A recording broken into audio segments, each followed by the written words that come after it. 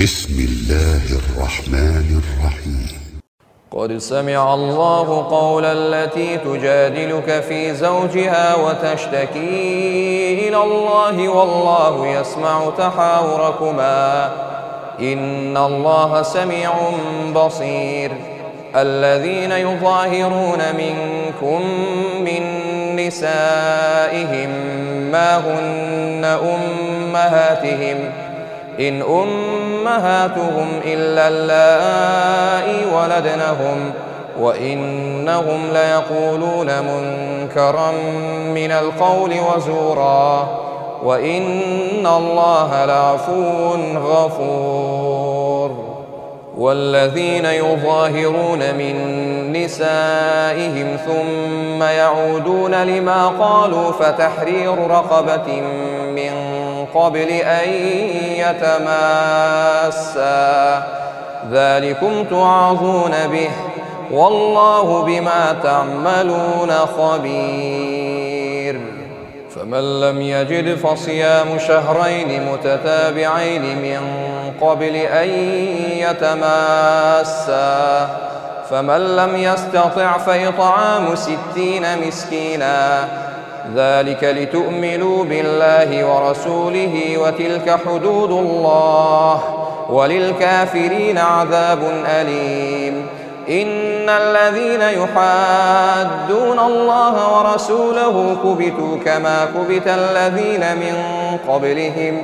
وقد أنزلنا آيات بينات وللكافرين عذاب مهين.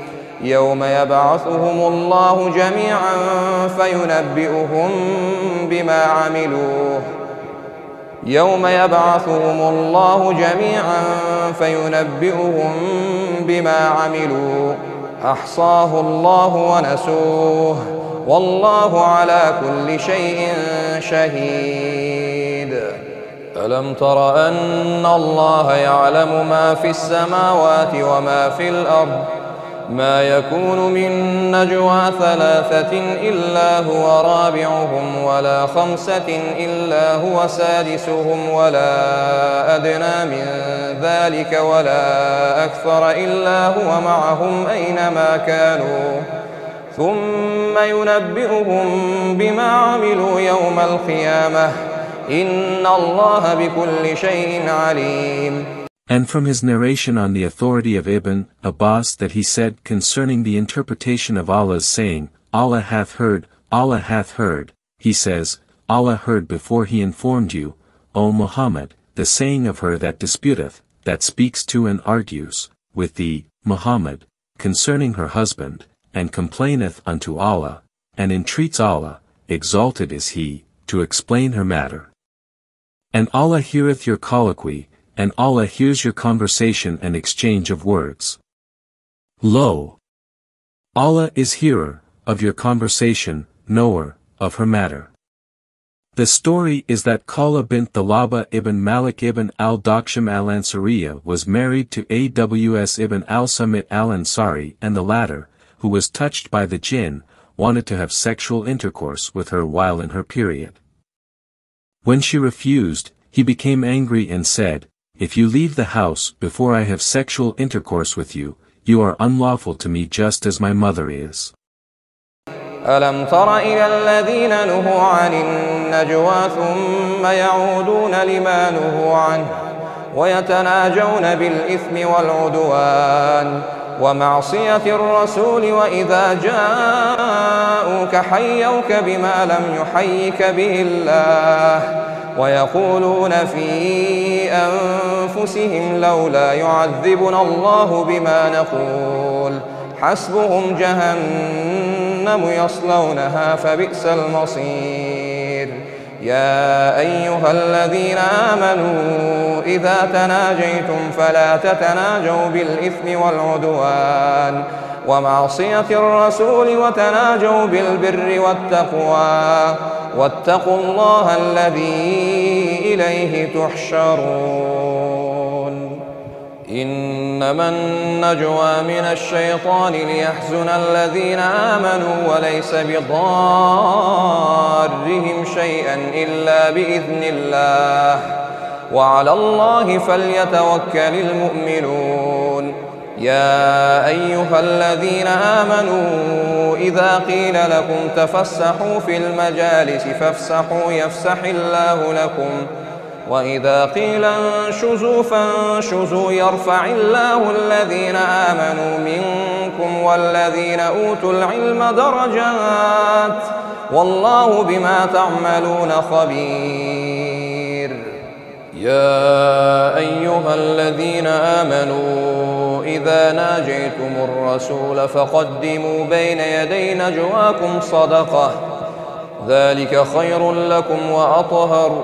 فإن لم تجدوا فإن الله غفور رحيم. أأشفقتم أن تقدموا بين يدي نجواكم صدقات؟ فإذ لم تفعلوا وتاب الله عليكم فأقيموا الصلاة وآتوا الزكاة وأطيعوا الله ورسوله والله خبير بما تعملون. ألم تر إلى الذين تولوا قوما غضب الله عليهم ما هم منكم ولا منهم ويحلفون على الكذب وهم يعلمون. أعد الله لهم عذابا شديدا إنهم ساء ما كانوا يعملون Such of you as put away your wives, by saying they are as their mothers, they are not their mothers, they are not like their mothers, none are their mothers, in terms of unmarriageability, except those who gave them birth, or those whose milk they drank in their infancy, they indeed utter an ill word, when they declare their wives unlawful to them, like the unlawfulness of their mothers, and a lie. And lo!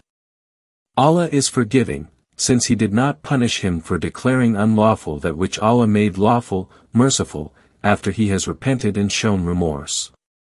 654 اتخذوا أيمانهم جنة فصدوا عن سبيل الله فلهم عذاب مهين. لن تغني عنهم أموالهم ولا أولادهم من الله شيئا. أولئك أصحاب النار هم فيها خالدون. يوم يبعثهم الله جميعا فيحلفون له كما يحلفون لكم ويحسبون أنهم على شيء. ألا إنهم هم الكاذبون. استحوذ عليهم الشيطان فأنساهم ذكر الله. أولئك حزب الشيطان. ألا إن حزب الشيطان هم الخاسرون. إن الذين يحادون الله ورسوله أولئك في الأذلين. كتب الله لأغلبن أنا ورسلي. إن الله قوي عزيز. لا تجد قوما يؤمنون بالله واليوم الآخر يوادون من حاد الله ورسوله ولو كانوا آباءهم أو أبناءهم أو إخوانهم أو عشيرتهم أولئك كتب في قلوبهم الإيمان وأيدهم بروح منه ويدخلهم جنات تجري من تحتها الأنهار خالدين فيها. رضي الله عنهم ورضوا عنه. أولئك حزب الله. ألا إن حزب الله هم المفلحون. ألا إن حزب الله هم المفلحون. Allahu Akbar. Those who oppose Allah and His Messenger, regarding religion and show enmity towards Him, will be abased, they will be chastised and conquered on the day of the ditch, they will be killed and defeated, the reference here is to the people of Mecca, even those before them were abased, just as those who had fought against the prophets before the people of Mecca were chastised and conquered, and we have sent down clear tokens. We have sent Gabriel with revelations making clear the commands and Prohibitions, the lawful and unlawful, and for disbelievers, in the revelations of Allah, is a shameful doom, through which they will be humiliated, and it is said that a shameful doom means, a severe chastisement.